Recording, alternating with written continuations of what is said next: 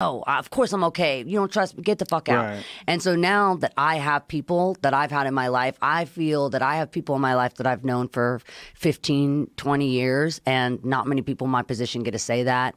My parents are awesome. My dad's loopy as hell, but I love him so much.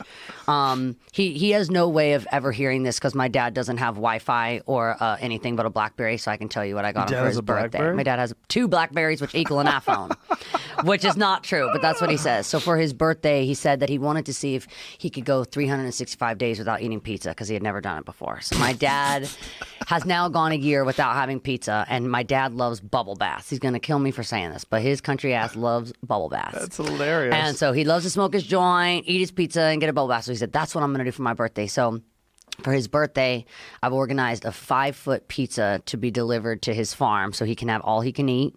And I'm the pizza delivery person on the box.